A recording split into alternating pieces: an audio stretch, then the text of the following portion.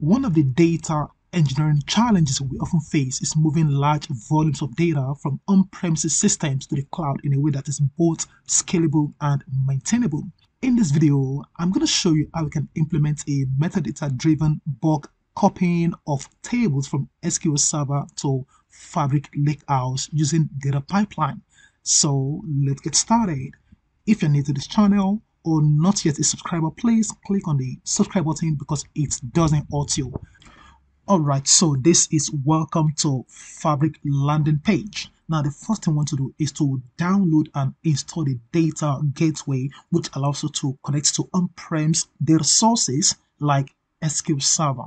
So to download, I'm going to click on this download and I can see data gateway. I'm going to click on that and a new tab is open automatically. So we can see connects to on-premises data sources with a Power BI gateway. So you need to download this standard mode, not this personal. And once that's done, just follow the installation prompt and you need to sign in with your Microsoft Entra ID email that you are using in your Microsoft Fabric account. In my case, all that is already done. I'm going to come here, I can see the on-premises data gateway and I've got the August 2025 version 30285 and we can see the gateway named Cornerstone Data Gateway is online and ready to be used. Now we can come back to the Microsoft Fabric once the data gateway is sorted and we can create our workspace. I'm just call this one demo 101 and I'm going to click on apply at the bottom.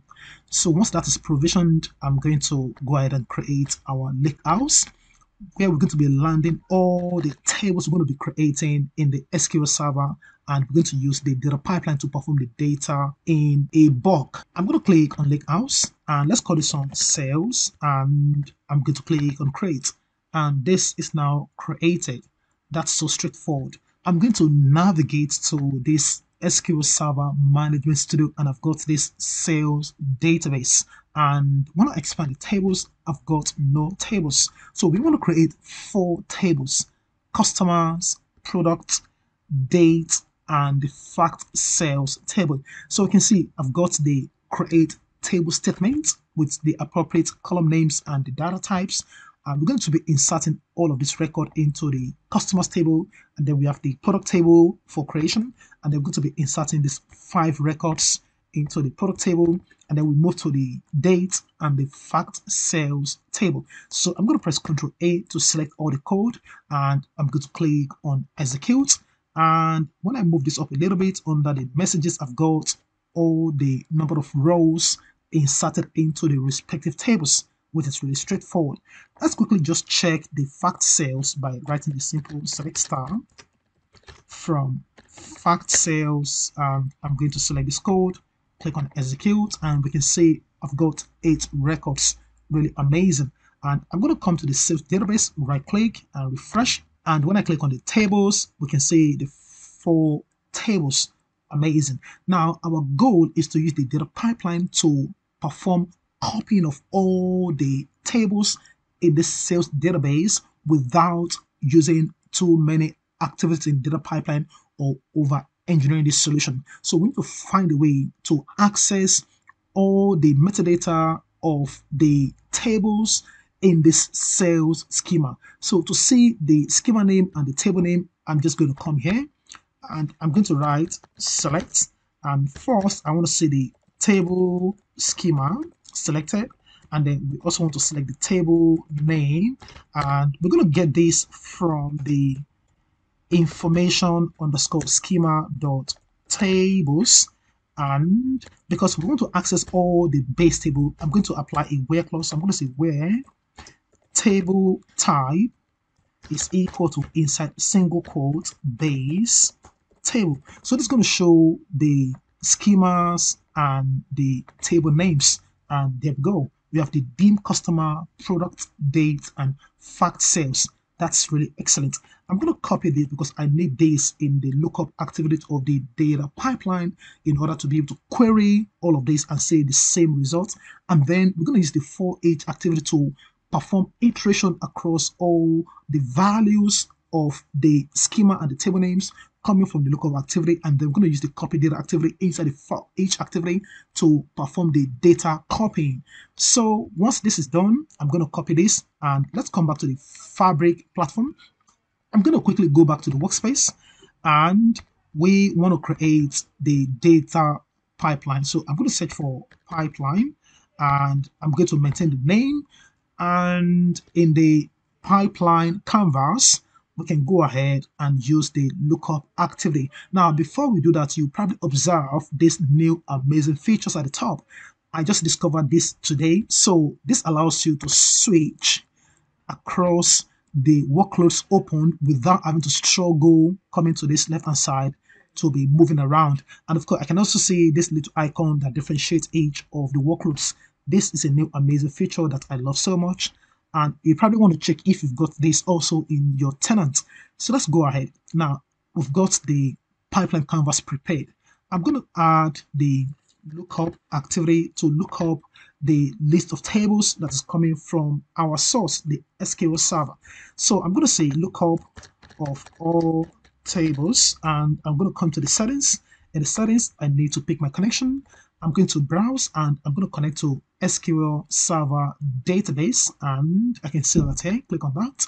And I need the server name and the database name as well as the connection credentials. So for the server name, I'm going to come back to the SSMS and I can see Abiola David 01 as the server name. So whatever you see is automatically your server name. This is pre-configured for you sometime, but sometimes you can also change it by yourself. So I'm going to navigate back and I'm going to type in Abiola David 01 and I want to connect to the sales database and I'm going to show you how we can create the connection. So I can give this a name, but this is fine. And very importantly, we need to choose the on-premise Cornerstone data gateway installed. So click on that because this is going to establish connection to the on-premise SQL server. And then for the authentication type, I'm going to use SA and I'm going to type in my password. And I'm going to toggle off this use encrypted connection and click on connect. And this should give us proper connection if the data gateway is working and then all the information supplied are accurate so I'm just going to wait for some couple of moments and let's see the intermediate next step. All right, so this succeeded. Amazing. I can click on this test connection just to verify that this is correct. But I'm so sure this is actually successfully connected because I can see the sales database. If there is a failure, I'm going to see the failure automatically displayed. So let's go on. Now for the use query, I'm going to click on query because again, we want to see the schema name as well as the table names. I'm going to paste what I copied and I can click on this to expand so that I can see what I've got in there. And once that's done, I'm going to click on preview data. All right, so we can see the table schema and the table names absolutely accurate. So I'm going to close this for now and we can also see that we've got a successful connection. That's really brilliant. I'm going to uncheck this first row only, and then we can move this to one side. Now, I'm going to quickly validate and run this data pipeline. I'm going to save and run. So this is now in progress, and I'm going to close this for now. I'm going to, oh, there we go. This executed in just seven seconds. Absolutely awesome.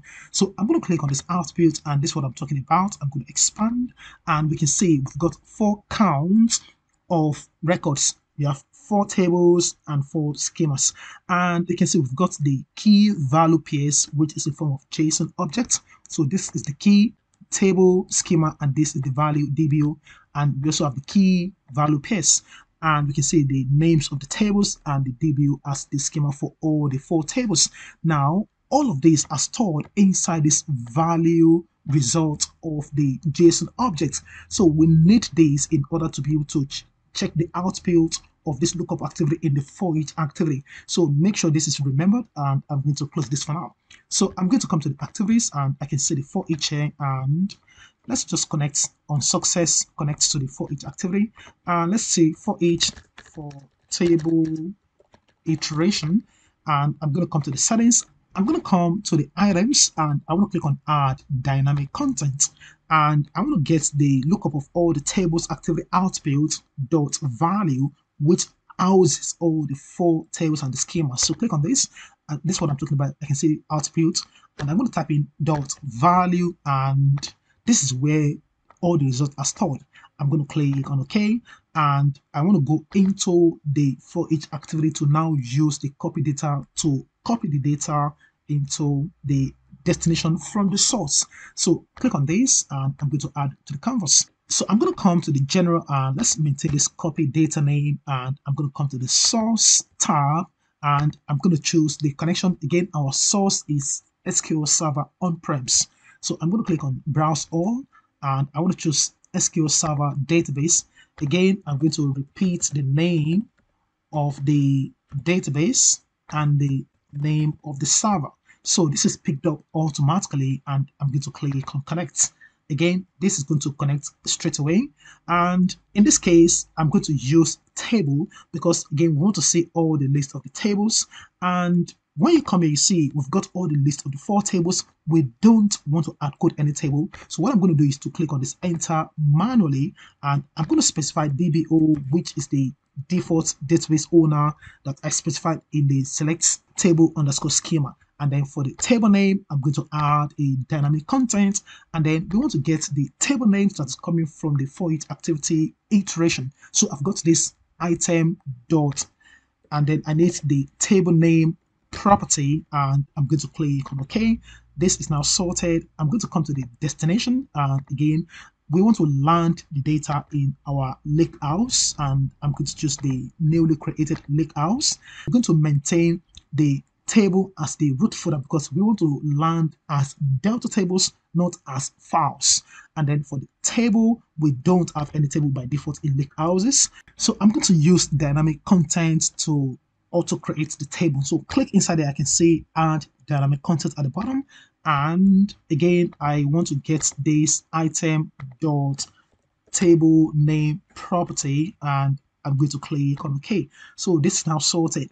Now I can go to the mapping to check the mapping for each of the tables by providing the table names and then I can do the mapping from the source to the destination board. This is automatically handled because we have the appropriate data type specified in the table creation in this method. So I'm not going to bother about the mapping. So I can go ahead and come outside this for each activity and then we can click on the run and I'm going to check it's a good practice to always validate for any errors so in this case we've got no errors and I'm going to click on the run and I'm going to save and run the data pipeline so this is going to gather all my changes and I'm going to close this for now and you can see this is now positioned for execution so under the output I'm going to say the activity name the status the run start, the duration, current duration, output, the input. So in this case, the lookup of all table activity automatically executed because we've actually done that initially. So this succeeded. And then we've got the for each activity which perform iterations across the lookup activity based on the full number of tables we are copying dynamically. So we can see two of them succeeded. Now each of this copy data activity represents the customer, product, date, and the fact sales table. So because these two succeeded, I'm so sure that the rest of the table, the last step is going to succeed. So I'm going to click on this refresh just to try to trigger this. And once we have the full copy data activity done, then the last step is going to be the for each activity to also succeed. So again, I'm going to click on this. Of course, we could have actually added a new step to this. Maybe we want to add a notification upon failure upon success so that we can know without having to struggle to determine the status of this data integration. Amazing. So the run succeeded and this is really brilliant. So what I'm going to do is to navigate back to the lakehouse and that's the reason why I love this new functionality. So I don't have to struggle too much and I'm going to click on this refresh and now I'm going to quickly go to the workspace and I'm going to go to the SQL analytics endpoint because it's actually much easier to see the content of the tables rather than from the lake house. So click on this SQL analytics endpoint and then I'm going to come to the DBO and expand the tables and we can see the three tables I think one is still being away. Oh, there we go. We have the last one. So let's see the dim customer. Click on the dim date and the dim products and the fact sales. So there we go. We have the eight records in the fact sales with the appropriate data types. Really excellent. And then we have this dim customer, dim date, dim products. Absolutely cool. So we've seen how we can copy multiple tables using the lookup for each and copy data activity without using too many activities or over engineering this solution. I trust you enjoyed this video. If you do, please like, share, comment, and follow me for more videos because there's a lot to come. Thank you for watching. Bye for now.